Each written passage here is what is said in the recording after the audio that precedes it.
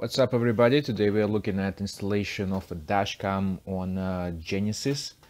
Uh, in my case this is a Genesis G80 or uh, to be more precise this is a 2016 Hyundai Genesis sedan. Now it was renamed as most of you know uh, but really model and the make of the car doesn't really matter here because um, what happens is uh, installation process is pretty much similar. We will need um, hardwire dashcam accessory here. Uh, this is required to activate parking recording and uh, to make this uh, little camera work at a full capacity instead of having it active only while driving. So this little camera gives you a uh, use of um, red camera detection. It gives you uh, GPS location. It also provides you obviously with the uh, options to take pictures and the most important, the dashcam feature.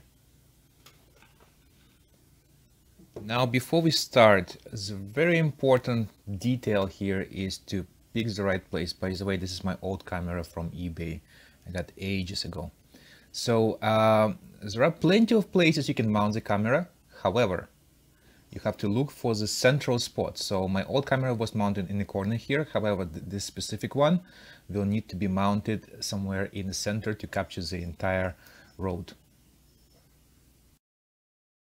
Before we start installing the thing, let's make sure that everything is inside and we have everything in place.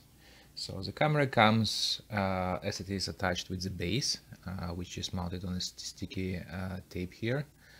This base is removable. Just give me a second. Let me try to pull it off. And here it is. It, it's sliding off. So there's supposed to be a spare one just in case if you mess it up. This thing is uh, attached immediately and uh, when when installing it make sure you uh, use some water to uh, wet the surface. Then we have this um, uh, SD card with data and some warranty documents and so on. So um, let's get down to work.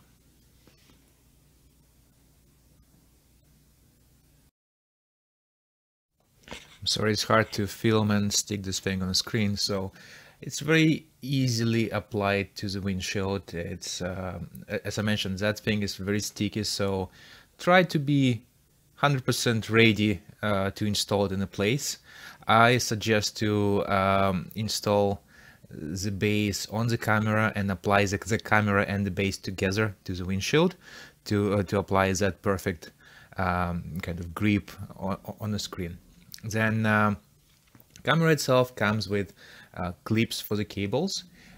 These guys will help you to mount it nicely and uh, will create some spacing uh, for the cable in case if you need to pull it out or you need to reposition it later. However, for me, I found that central position works best. Then uh, next step we're doing here is we are pulling the cable under the roof lining and it's very easily done because uh, roof itself and the windshield there is a gap and in that gap uh, the, the wire goes in nicely however try to maintain a little bit of spare wire in there just in case that uh, you may require to change the position of the camera in the future and uh, that wire will be there uh, otherwise you'll end up pulling and uh, uh, undoing the entire thing again. Then in, in some specific places you'll feel that there is resistance or uh, where the lining comes in close with the surface. Uh, don't worry about it. Uh, there are some tools in the market, very cheap ones, plastic ones. However, I don't really use that. I'm using a simple round key here and uh, it works perfectly for me. Let me show you how I use it. I just basically feed it in and push the wire through. Just make sure don't lose the key in there. This is going to be the hardest portion of the installation. You'll need to feed that wire through the seam on the pillars. And uh, that seam is a little bit tighter than the one you've been feeding through uh, right by the windshield. However, it's uh, very easy doable and all you have to do is just apply some pressure right through the seam, uh, bend it off a little and uh, feed the wire inside. It's very important to feed the wire through because uh, uh pillar itself contains a airbag and uh, you need to make sure that it's not blocking it off. Then once you're through, just peel off the weather strips.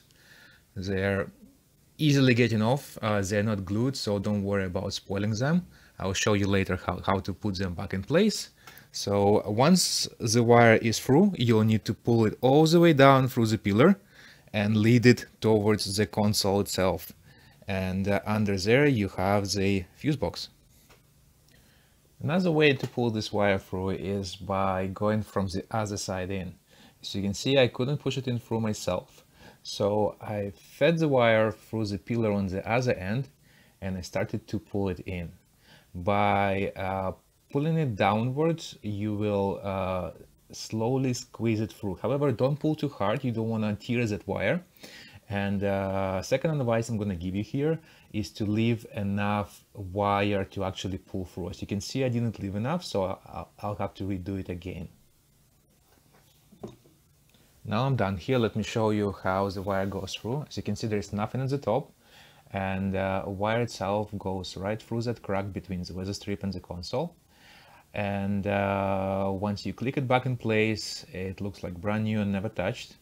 And uh, what you'll be doing here is feeding that wire right through that crack uh, down there into the console. You can feed it underneath, but it's not going to be aesthetically beautiful uh, uh, as if when you just feed it through that uh, crack in there and uh, bring it all the way down to the fuse from behind.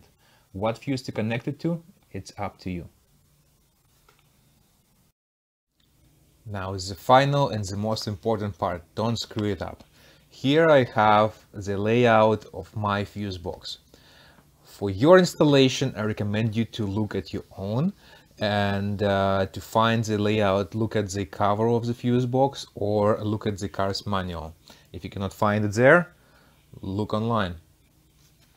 So to connect your dashcam, you will need to find three types of power. So first one is going to be a continuous power supply. This is something that is usually working without the ignition, like your dome lights, your emergency lights, brake lights, etc. Uh, then you'll need to find the uh, power source that is dependent on the ignition. Usually it's your stereo fuse or something like plugs uh, and sockets and, and etc. for your accessories. And then you'll need to find uh, ground connection. Ground connection is the easiest one, so just find a metal uh, bolt or a nut somewhere under the dash that is directly linked to your vehicle's body. That will be your ground.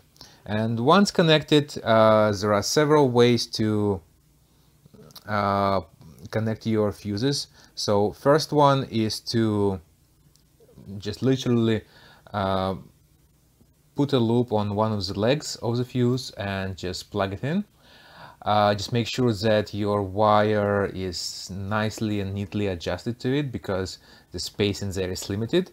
Um, and uh, another one is to actually buy special extension, which I find useless in this case, but if you want to spend an extra 10 bucks, why not? Uh, there are extensions that actually go in, into the original socket while bringing out the fuse itself into like specialized socket with the wires. Um, here you have the uh, sample of it from the installation guide. And uh, once you're in, there is only one way to find out if it works. And now this is the time to actually test it. So just press the button.